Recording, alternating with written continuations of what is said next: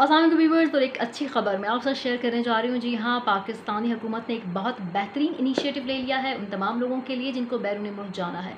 चाहे वो तालब इम है या वर्क परमिट पर जाना चाहते हैं या टूरिस्ट वीज़ा पर जाना चाहते हैं, लेकिन अगर बाहर जाना चाहते हैं, किसी भी मुल्क, उनके लिए पाकिस्तानी हुकूमत ने बेहतरीन इनिशिएटिव लिया है। आपको भी जानकर बहुत खुशी होगी और मुझे भी आपको बता के बहुत खुशी हो रही है। लेकिन उससे पहले मेरी आपसे रिक्वेस्ट होगी कि आप हमारे यूट्यूब चैनल को सब्सक्राइब कर दें बेलाइकन प्रेस कर दें, ताकि डेली इन्फॉर्मेटिव वीडियोज़ आपको मिलती रहें। तो जनाब, पाकिस्तानी हुकूमत ने बैरून मुल्क जाने वाले तमाम मुसाफरों को मुफ़्त वैक्सीन लगवाने की जो है वो का ऐलान कर दिया है। इसमें उम्र की कोई हद नहीं है। तालब इल्म भी तारकिन वतन भी, वीज़ा होल्डर्स भी, तमाम को मुफ़्त वैक्सीन लगाई जाएगी। ज़रूरी बात यह है कि आप जिस मुल्क जा रहे हैं, आपको पता होना चाहिए कि वहाँ के एस क्या हैं। लेट सपोज़ अगर आपने सऊदी अरब जाना है तो आपको वैक्सीनेशन लाजमी करवानी है। पी फाइज़र ऑस्ट्रेजनिका यानी जो ब्रिटिश मेड वैक्सीन है।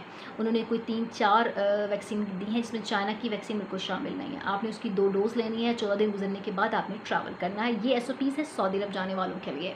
P Pfizer AstraZeneca Johnson and Johnson's और इस किस्म की दो, एक दो और भी हैं।